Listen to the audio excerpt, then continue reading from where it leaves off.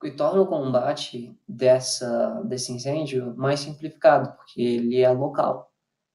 Bom, e como eu tinha havia falado com vocês, essa aqui é uma estrutura também danificada após o incêndio.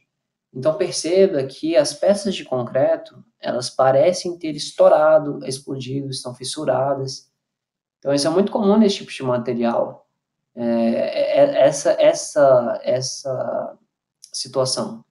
Então o concreto, né, pelo fato dele ter uma massividade é, muito menor se comparado ao aço, porque você tem né, um perímetro de exposição relativamente maior, com uma área menor, né? Então, a massividade do concreto, por ele ser muito menor do que a do aço, é, muitas vezes as pessoas, os engenheiros né, em projetos, não se importam muito a botar material isolante em estrutura de concreto, porque acreditam que o concreto resiste muito mais. E, e, de fato, ele resiste um pouco mais do que o aço, mas o seu isolamento não pode ser é, não considerado quando você assume que um incêndio pode vir a ocorrer. Até porque você fazer a manutenção e a reabilitação de estrutura de concreto, uma vez que o incêndio ocorreu, é muito mais complexa do que uma estrutura de aço isolado, por exemplo. Porque ali você vai ter que fazer a reconstituição de peças de, de, de concreto. E essa reconstrução é muito mais complexa do que uma estrutura de aço ali, que é simplesmente você pode substituir a peça. O concreto não, você tem que fazer a você tem que curar aquele material, né? É, tirar aquela superfície de concreto que foi consumida e reaplicar, conferir as barras. Isso tudo, a estrutura de concreto é completamente coesa, né? Então você tem essa dificuldade. É, a mesma situação você já não observa no aço, em que você pode fazer sua manutenção do isolamento e, a, se o material foi danificado, a substituição do mesmo.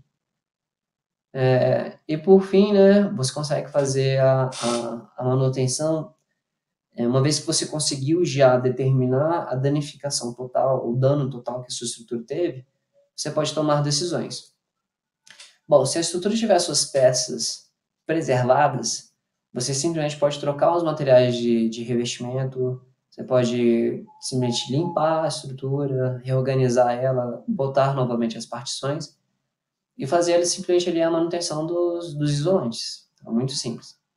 É, caso contrário, caso haja danos elevados em estruturas, né, principalmente em pilares, é, é, importante que você consiga mensurar a extensão do seu dano. Uh, então, para estruturas de concreto, por exemplo, você pode fazer ensaios destrutivos e não destrutivos, de modo a você prever qual a resistência da sua peça, né?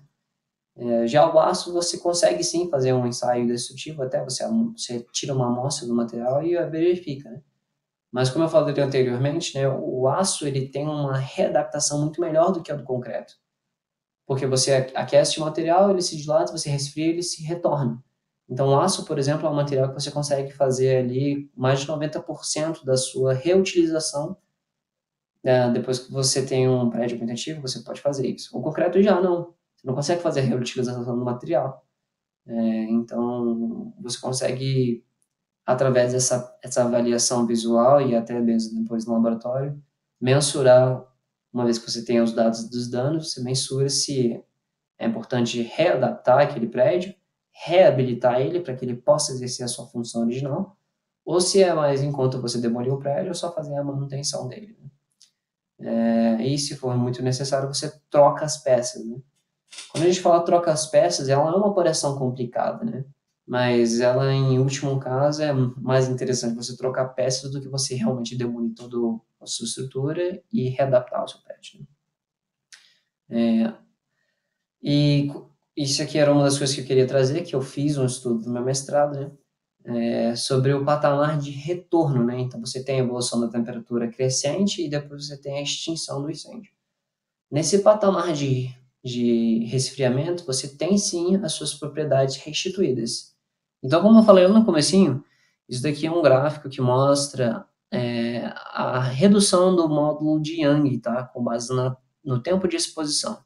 Isso daqui é uma viga que eu simulei ela através de um software de, que é baseado no método dos elementos finitos, que ele vai fazer a sua verificação da peça. Então, é uma viga que eu adiciono carga a ela instantaneamente, e ela está sujeita a 10 a 0, é, 20 graus Celsius, né, basicamente. Uh, e com uma vez que eu carreguei essa estrutura, eu aplico uma carga térmica. Então, eu avalio a deformação da viga verticalmente em função da temperatura, tá? E uma vez que a restituição do material, uma vez que a redução da temperatura, você tem a restituição parcial. Aqui perceba que a deformação que restou é uma deformação residual. A viga não vai retornar posteriormente à sua posição original com base no carregamento dela. Tudo bem?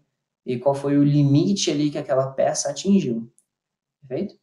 Aqui também é um outro exemplo do momento crítico que a gente calculou dessa viga, é, que mostra basicamente com o tempo de exposição da peça, né, evolução do incêndio, e como que o momento crítico da peça decaiu em função dessa desse tempo de exposição, perfeito?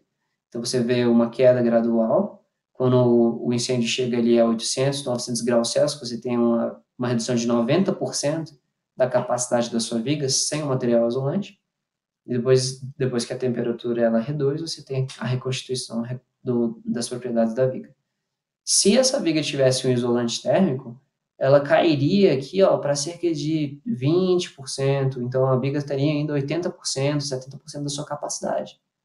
Ou seja, o material isolante ele é muito importante e ele é diversas vezes não mensurado em estruturas metálicas aqui no Brasil.